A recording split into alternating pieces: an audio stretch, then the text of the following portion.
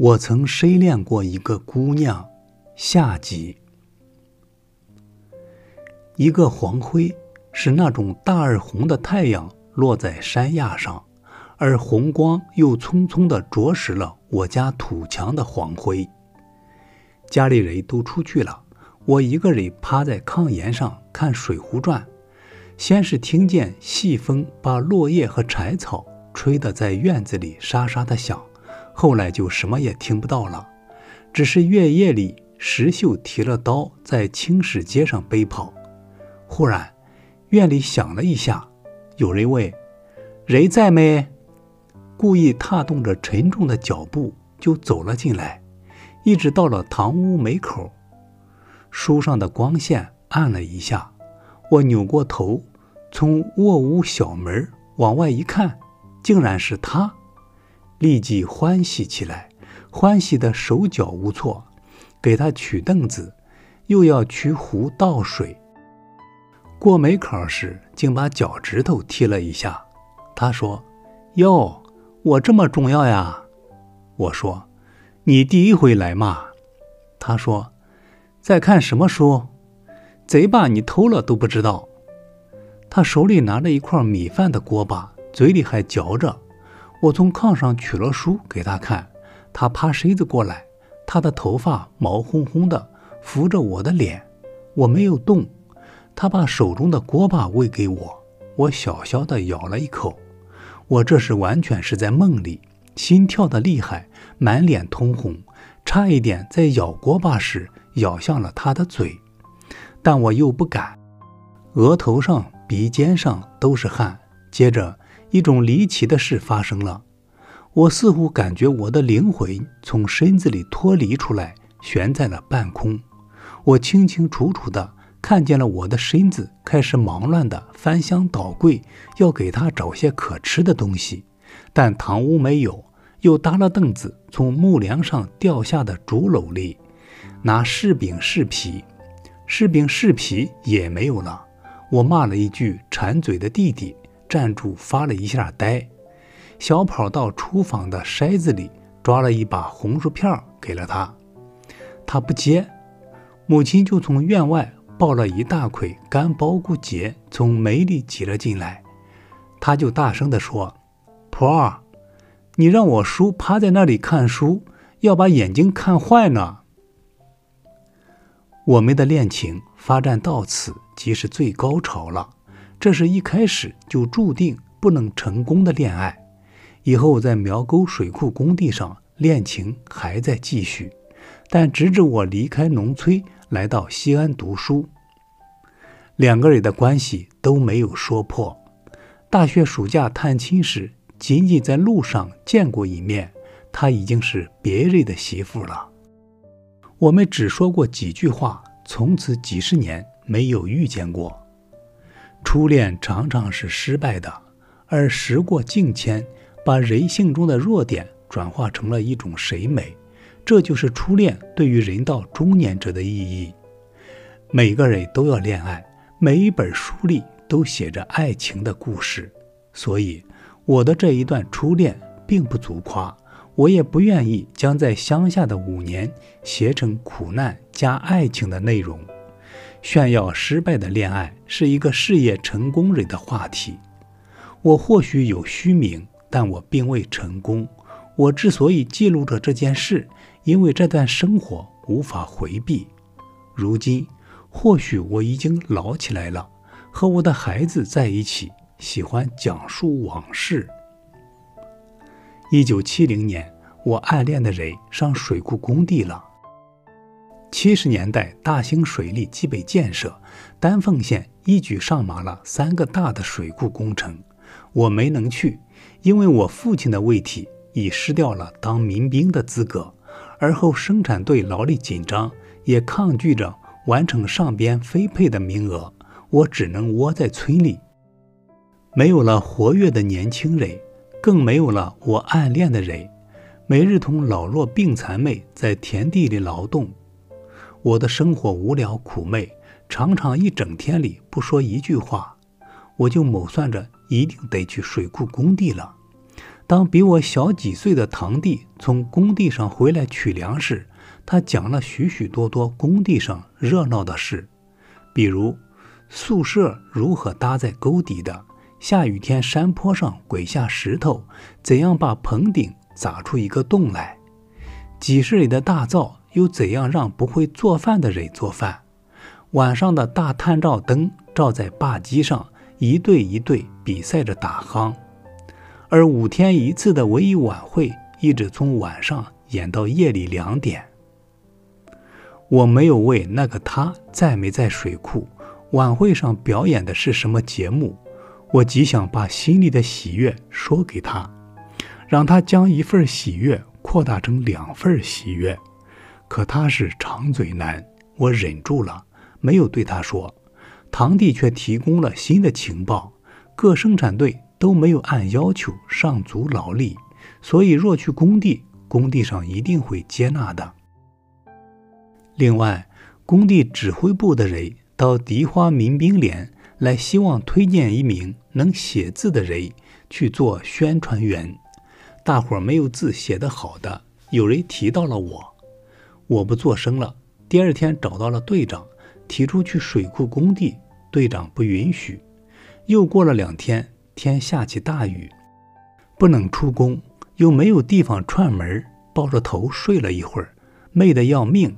就装了一口袋包谷身，对父母说：“我要去水库呀。”父母还没有反应过来，我已经出了门一个人戴了一顶破的没有帽檐的草帽就走了。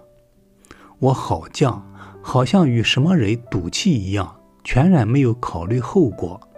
工地上肯不肯接纳我？队长会不会罚我？父母又如何想呢？我赶到了工地。民工午休起来，快要开下午工了，但我还没有吃饭。堂弟领我去见了迪花民工连的负责人，又领我去灶上问还有没有剩饭，正好剩着一盆子糊汤面，就在那里吃了三碗。民工连负责人问饱了没？我说吃饱了。他说我估摸你也该吃饱了，下午你就得去扛石头呀。要不晚饭就没你的了。我点着头去库房领取了劳动工具。工地上的规定是，每人每天必须从河滩或采石场扛三方的石头到大坝上，方可以记一个石飞工。然后在灶上吃饭，在灶上吃饭，国家给每人每月补贴十五斤白面。我扛了一下午的石头，累得黑水汗流。但我扛的不足一方，收工的号角一响，我坐在河滩里，浑身散架一般。贾元崔的高启对我说：“我考你个问题，世上啥最沉？”高启是个政治人才，在崔氏就和我的那个北祖的哥争夺民兵连长的职务，两个人闹得水火不容。我说：“过秤的锤，棉花里的水，你的心。”我的腿，高启哈哈大笑，却说：“你的腿，就那麻杆子腿。”我说：“我的腿实在沉重的抬不起来啦。”晚上，我和堂弟搭铺睡在工棚里，一夜风声雨声，声声烦心。我想这样下去，我怕是不行的。我并不是冲着扛石头来的，我为的是。能去指挥部搞宣传呀？第二天，堂弟就把我来的消息告诉了指挥部宣传干事福印，然后要我到指挥部门前溜达着。我依计行事，在指挥部门口转了两圈，就伸了脖子看别人下棋。我爱下棋，观棋不语是不可能的。眼瞧着红方架了炮，准备跳马逼宫。黑方竟还是只攻了一个小卒，我就蹲下去替他走了一步，不想肩头上被重重的拍了一下，扭过头来是一个二十六七岁的人，四方脸，红卫夫。我说：“走的不对。”那人说：“你是不是叫贾平凹？”我的大名叫贾李平，是纪念在金培村李家大院出生的。但乡下呼孩子爱挂一个字，而加上娃的口语，我就一直被人叫小名，叫到十八九岁。我说是的，那人又说：“你写过大字？”我说：“在学校写过大字报，也写标语横幅。”那人拿眼睛久久地看着我，他一定怀疑我的回答。我又瘦又小，形象猥琐。这时候，我的心还牵挂着汉楚河上的红方果然逼宫，黑方护势，黑方是不应该护势的。得紧急出将，我嘟哝了一句：“臭棋。”看见了不远处堂弟在给我使眼色，我才猛地明白了，站在面前的这个人可能是指挥部的。立即又说道：“我搭梯子在商镇街道的墙上写过斗大的标语哩。”那人说：“明早你到指挥部来吧，我叫张福印。”第二天。我到了指挥部，福印和安富在那里油印一份儿苗沟水库的工地战报，还有两个人坐在椅子上抽烟。整整的一天，我写下了无数的标语。福印陪着那个矮胖子领导，后来知道叫李志伟，来工地看我写字，他们也惊奇我字写的这么好。我倒张狂了，说作为比字还好。他们就笑了，说：“今天起，你就是指挥部的人啦。在指挥部一天可以记八分功，近乎我在村里劳动一天的三倍，而且还可以拿到每月两元钱的补贴费用，这是民工连的人享受不到的。如此的好事降临于我，我一个人跑到河滩的一处深水潭里去游泳。”脱得精精光光，大呼小叫。我发誓一定要保住这份工作，踏踏实实、勤勤恳恳，一定要让指挥部的所有领导满意，长久的留用我。我游泳的深水潭在工地的下河滩，晚饭后并没有人来到这里，但偏偏我暗恋的人出现了。我正从水里钻出脑袋。就看见了他从远处走过来，我啊了一声，立即潜下去，因为我是赤身裸体的。当他已经走过了水潭，我穿上衣服在后边叫：“喂，喂！”他怔了一下，一下子跑过来，说：“我听说你来了，可就是不见你。你到指挥部去了？”我说：“下午才去的。”他是比在村里时。又有些黑了，但脸庞更加有轮廓，还新洗了头，头发蓬松光亮。他本是去河下游那户人家里借东西的，突然决定不去了，领我返回去了他们的宿舍。原来他和一帮年轻的女子住在离我们工棚较远的一户山民家。我们一进去，大家就都看我。我经不起这么多女子的目光，一时窘得耳脸通红。耳脸一红，他们就怀疑上了我，目光顿时异样。他说：“这是我叔，我把他叫叔哩。”大家说：“是吗？这么小的叔？”他说：“小叔。”他们说：“小叔，你这小叔如果再能高一头，就是个好叔啦。”嘴挺大的，嘴大吃四方嘛，只是嘴唇厚了一些。身体还好吗？他们嘻嘻哈哈的坐见我，然后就往外走，还说：“走呀走呀，咱们出去吧。”竟还把门拉上了。但他还是把门拉开了，又开了窗子，坐下说：“他们胡扯。”我拿了眼睛，开始大胆的看他了。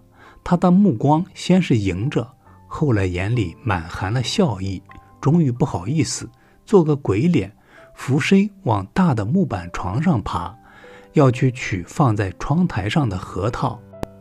他爬动如兔子，两只脚扎起，而一只鞋就掉下去，赤着公公的脚背和染着红颜色指甲的脚趾头。